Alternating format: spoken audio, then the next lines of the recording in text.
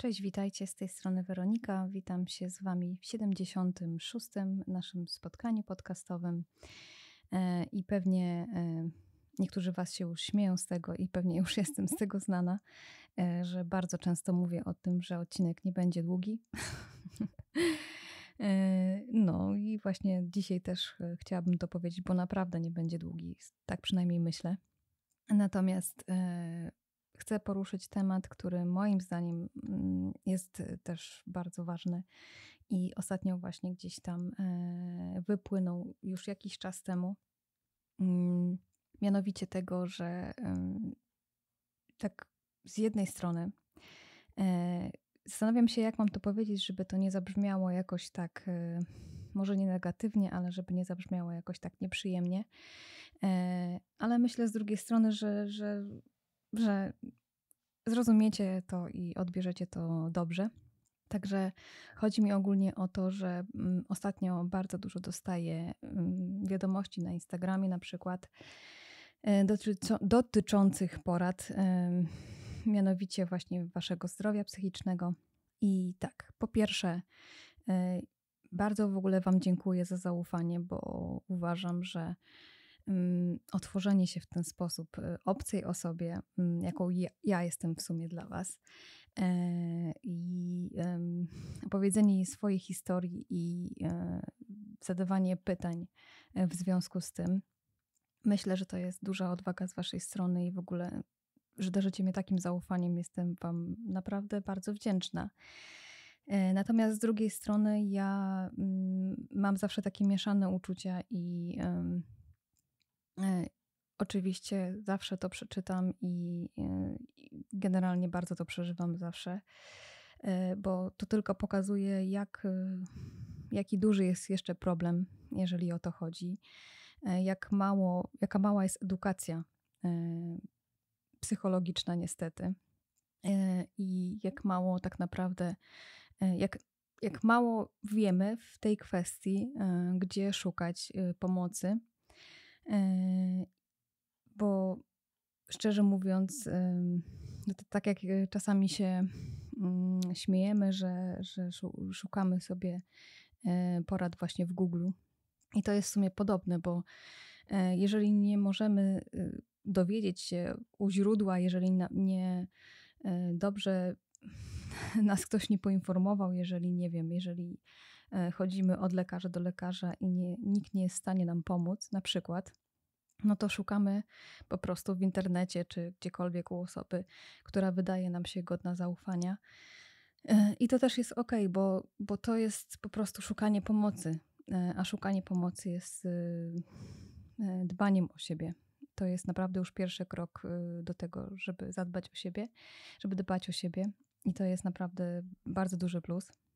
Natomiast E, ja po prostu mm, nie jestem osobą kompetentną, e, żeby dawać rady w tym zakresie. Mm, nie jestem ani psychologiem, ani psychiatrą e, i pewnie nigdy nie będę. No, psychiatrą to już na pewno nie będę, psychologiem też pewnie nigdy nie będę. Ja się tylko tym interesuję. Ja tylko mm, Wam mówię tutaj moje doświadczenia, opowiadam Wam swoją historię. Zresztą możecie ją posłuchać w innych odcinkach, jeżeli chcecie to zapraszam.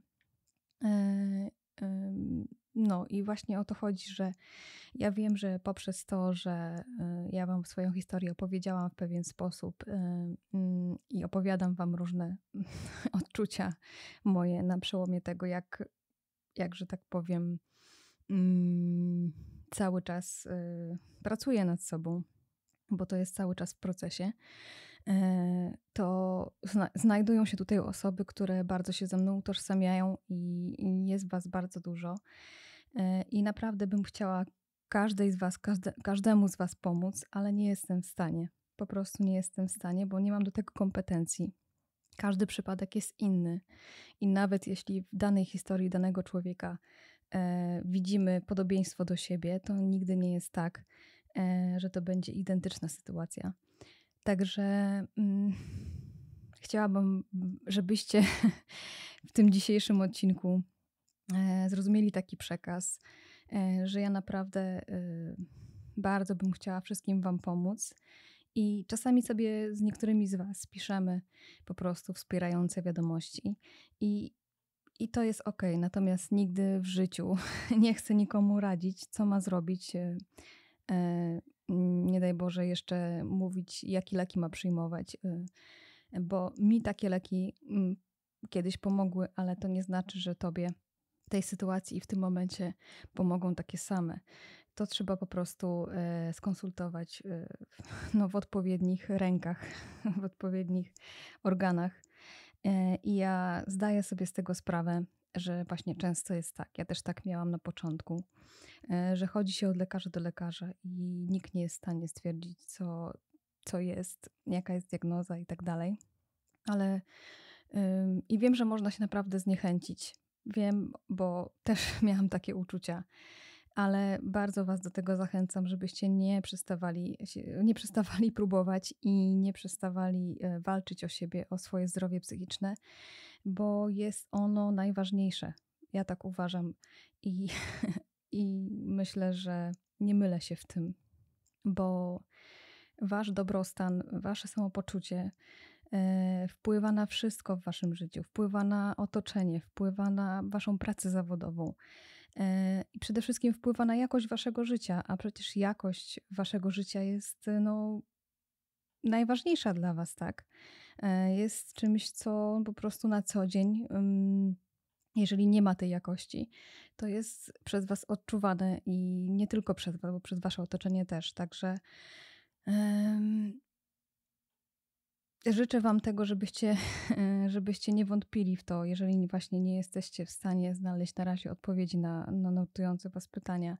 Jeżeli nikt Wam do tej pory nie pomógł, to szukajcie dalej tej pomocy i na pewno znajdzie się taka osoba, znajdzie się takie miejsce, gdzie, gdzie w końcu, e, w końcu e, dotrzecie się wzajemnie i w końcu znajdziecie jakieś takie odpowiedzi na, na pytania i w końcu Mm, ta jakość y, zdrowia psychicznego się poprawi. Także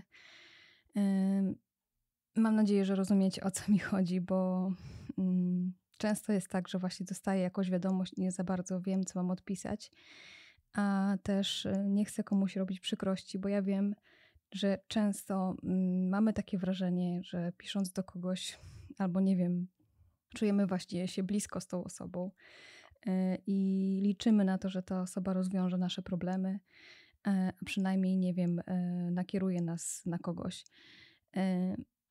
A ja tak, tak jak mówię, każda sytuacja każdego z nas jest inna i nigdy nie będzie tak, że jak mi pomógł, pomogła ta osoba, to tobie też pomoże ta osoba. I, I co? No i chyba to tylko tyle troszeczkę, troszeczkę emocjonalnie do tego podchodzę, bo powiem Wam szczerze, że um, bardzo mi leży na sercu ogólnie zdrowie psychiczne. E, I jak czytam Wasze um, wiadomości, to właśnie tylko się utwierdzam w tym przekonaniu, że, że bardzo to kuleje u nas w kraju. E, I, I niestety my zostajemy czasami właśnie sami z tym i musimy sobie sami z tym radzić w takim sensie, że po prostu musimy chodzić od drzwi do drzwi i często e, szukać tej pomocy, ale Was zachęcam do tego, tak jak mówię, żebyście nie przestawali jej szukać, jeżeli jej potrzebujecie. Także mm, nie zmienimy tego, jaka jest sytuacja, ale możemy pomóc sobie właśnie w ten sposób. E, I naprawdę przytulam Was wszystkich e, i dziękuję Wam za takie zaufanie, bo to jest naprawdę ogromne zaufanie. I co? I jeżeli macie moment, że, że po prostu potrzebujecie jakiegoś wsparcia, to chętnie Wam je dam. Natomiast nigdy nie będę y, rozwiązywała tych problemów i nigdy nie, nie będę, broń Boże, radziła komuś, y, zrób tak albo zrób inaczej, bo tego nigdy nie będę robiła i nie chcę robić. Zresztą psycholog Wam też tego nie powie konkretnie, co macie robić. Także Mm, warto szukać tej pomocy, e, warto nie przestawać. E, e, warto zadbać o siebie w ten sposób, jeżeli potrzebujemy, jeżeli czujemy, że tego potrzebujemy. To takie trzy sprawy ważne, że warto szukać, warto cały czas próbować i warto właśnie w ten sposób dbać o siebie, bo to jest szukanie pomocy, to jest właśnie oznaka takiego samodbania o siebie na wysokim poziomie i to jest bardzo ważna kwestia. Nigdy nie przestawajcie tego robić, naprawdę. Także miało być krótko, a wyszło już ponad 10 minut. Okej, okay, myślę, że zrozumiecie o co mi chodziło w tym przekazie. E, I co? I tak jak powiedziałam, jeżeli potrzebujecie porozmawiać tak po prostu, to, to jestem. Mm, zawsze też jestem w stanie, nie wiem, podać ogólnodostępne, ogólnopolskie numery telefonów, gdzie możecie takiej pomocy szukać. E, ale to też znajdziecie sobie spokojnie, jeżeli to wpiszecie w internecie. I co?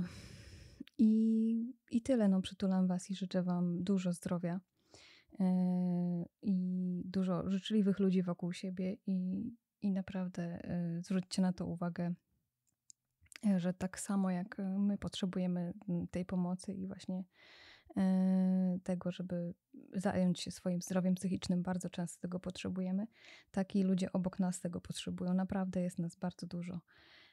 Także myślę, że ten temat mm, jest cały czas aktualny. Niestety cały czas będzie. E, i ja będę go tutaj często też poruszać. Zresztą tematy wszystkie, które tutaj poruszam, oscylują właśnie w tym temacie zdrowia psychicznego e, i radzenia sobie z różnymi sytuacjami w życiu, tak myślę. E, także dziękuję Wam za wysłuchanie mojego monologu dzisiejszego i życzę Wam wszystkiego dobrego, dużo zdrowia jeszcze raz i do usłyszenia w kolejnym odcinku. Pa, pa.